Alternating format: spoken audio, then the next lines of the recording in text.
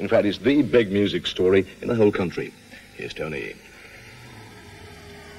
Here I am, standing on a corner in downtown Chorlton Hardy, minding my own business, reading this week's NME. And what do I see on the cover?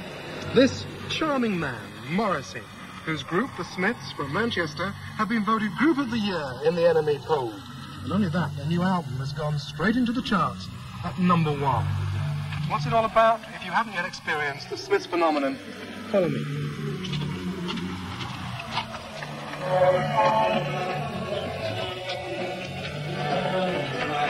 The Smiths in rehearsal for their tour, which begins next week.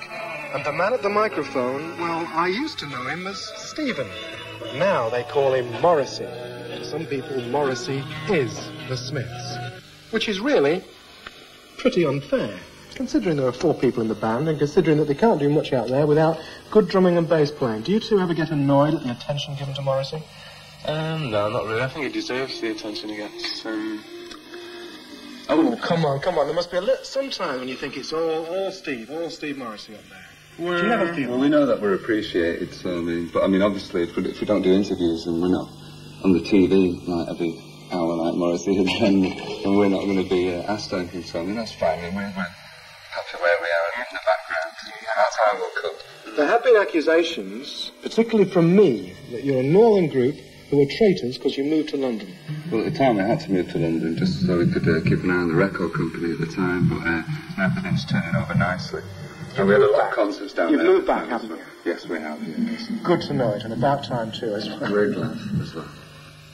If the Morrissey cult has any real threat, then it's from the guitar cult, which is increasingly growing around the young man who writes the Smiths' tunes. His name? Johnny Marr. I'd say um, my style is influenced by um, basically an American and English folk guitar.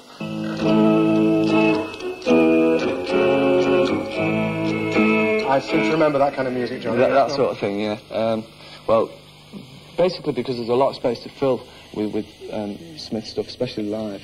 I just um, take it and sort of try it a little bit more aggressively and go. Uh,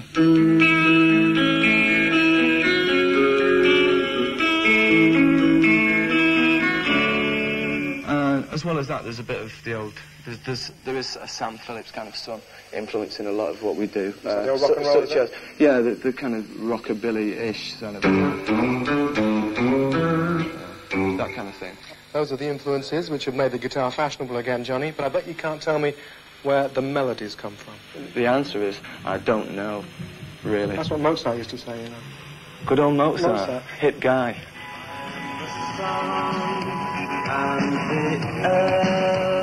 And finally, the man himself. We could talk about art, we could talk about the gladioli he used to have hanging out of his pocket, but let's instead talk about scandal. Stephen, your career has been dogged in a positive fashion by controversy and scandal. Yeah. Let's just talk about the latest one. Uh, It's the opening lines on the opening track of the album, isn't it? Yes, yes, Which is. says what? Um, the first two lines are belligerent ghouls run Manchester schools, which seems to have really upset the Manchester Education Committee. I'm not surprised. Why, well, why are you not surprised? Well, it seems to be an attack on them. Why are you attacking them? Well, it is an attack on them in a sense, but I feel that um, they're there to be attacked, really, if, if, if, they're not, uh, if they're not really serving their pupils well. It has to be attacked, surely. I, I mean, are you saying this from your own personal experience? Entirely, entirely, which I'm sure is absolutely widespread. And I know from the amount of letters that we've received about this track that it means a great deal to people. And the fact, of course, that uh, the LP is in at one means that um, more people are in favour than against. Maybe it's because they like Johnny Marr's tunes. And Yes, it could be. Yes, I'm, I'm sure it's several things, but that certainly hasn't hindered it, I must say.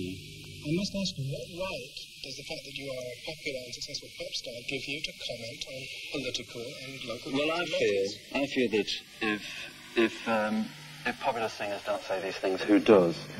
We can't have any faith in playwrights anymore. We can't have any faith in film stars. Young people don't care about those things. They're, they're dying arts. And if you say, what right do you have? The implication there to me is that, you know, popular music is quite a low art. It should be hidden. It can be there, but let's not say anything terribly important. Let's just, you know, make disco records or whatever. So I really feel that, that we do have an obligation.